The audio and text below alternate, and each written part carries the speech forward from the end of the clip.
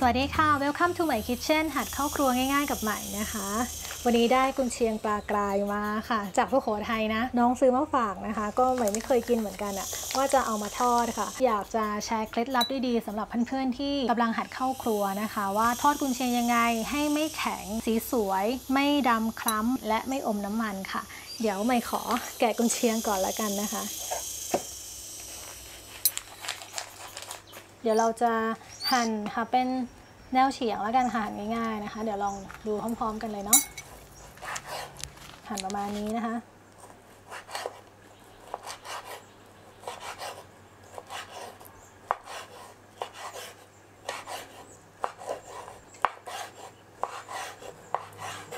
เสร็จแล้วหนึ่งก้อน เดี๋ยวเราจะเอาไปลงกระทะกันต่อเลยค่ะ การทอดกุนเชียงของเราทอดยังไงไม่ให้อมน้ำมันไม่ไหม้ไม่แข็งกระด้างนะคะ เพราะเราจะไม่ใช้น้ำมันค่ะเพื่อนๆหลายคนอาจจะรู้แล้วเนาะเราจะใส่น้ำลงไปค่ะ ใช้ไฟไม่ต้องแรงมากนะคะเนี่ยค่ะพอน้ำผุดๆเดือดแบบนี้นะคะ ก็ใส่กุนเชียงของเราไปได้เลยค่ะ การที่เราเอากุนเชียงมาทอดน้ำเนี่ยนะคะ ให้เพื่อนๆนึกถึงการทำกากหมูเจียวนะคล้ายๆกันเลยค่ะ เพราะว่าตัวกุนเชียงนะคะ ส่วนประกอบในการเอามาทำก็จะเป็นพวกมันเหมือนกันนะ เพราะว่าน้ำมันในตัวกุนเชียงเขาก็มีอยู่แล้วนะคะ ดังนั้นเราก็จะเอามา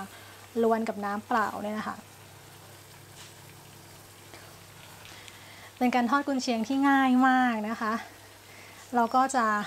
คล้ายๆต้มกุนเชียงค่ะ แล้วก็ลวนกุนเชียงในกระทะจนน้ำเนี่ยนะคะเขาจะหายไปเองระเหยไปเอง แล้วคราวนี้ค่ะ ความร้อนเขาก็จะรีดน้ำมันกุนเชียงออกมานะคะ ใช้ทอดตัวเองแทนประมาณนั้นเลยนี่นะคะเพื่อนๆก็ขยันคนแล้วกันนิดนึง ตอนนี้สีเขาจะเริ่มซีดนะคะ สังเกตดูนะ เนี่ยค่ะก็ใช้ตะหลิวนะคะพลิกด้านกลับไปกลับมา ก็ใช้เวลาสักพักหนึ่งอะค่ะ จนกว่าน้ำเปล่าที่เราเทลงไปนะคะเขาจะระเหยไปจนหมด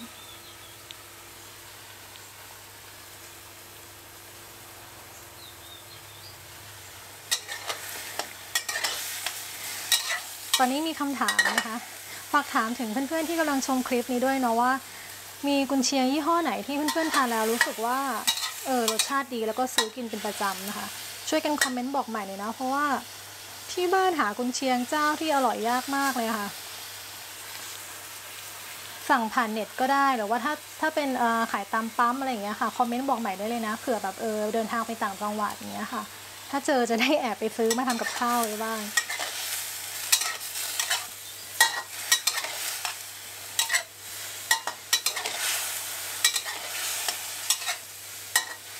ตอนนี้น้ำเริ่มลดลงนะคะ กุ้นเชียงก็เริ่มพองขึ้นด้วย น้ำมันเริ่มออกมาแล้วนะคะเพื่อนๆ เนี่ยค่ะ มาทุกคนตอนนี้นะคะ น้ำหายไปหมดแล้ว น้ำมันเขาเริ่มออกมาแล้วนะคะตรงกางกระทะเนี่ย ก็ให้เพื่อนๆค่ะ คนนะคะ เหมือนทอดเลยค่ะคราวนี้นะ เราจะใช้ตัวน้ำมันกุนเชียงนะคะ ทอดกุนเชียงเลย ใช้ไฟไม่ต้องแรงมากค่ะเดี๋ยวไหม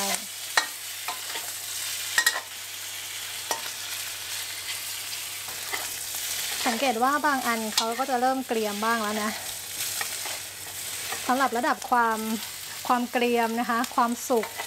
ความอ่อนความแข็งนี่ แล้วแต่ความชอบของเพื่อนๆเลย แชร์กันได้เลยนะคะ ว่าแต่ละคนเนี่ยชอบทานกุนเชียงแบบไหนแต่บ้านใหม่สมัย ตอนเด็กๆพ่อพ่อชอบทอดแบบแข็งๆให้กินอะ่ะเออเรารู้สึกว่าเออแข็งๆก็อร่อยนะ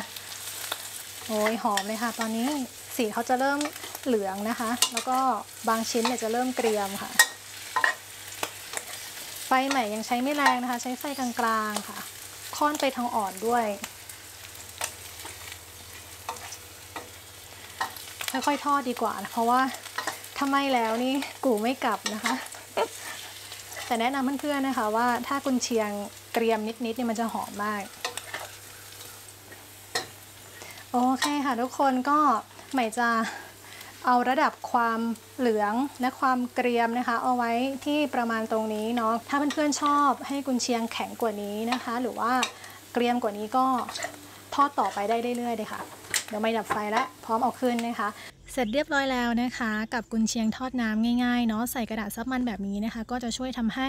ความมันลดลงไปได้เยอะเลยค่ะเดี๋ยวจะให้ดูนะสังเกตสีของเขานะคะ เหลืองสวยมากๆ ไม่แข็งจนเกินไปอ่อนกำลังดีค่ะทานกับข้าวต้มข้าวเหนียวนะคะ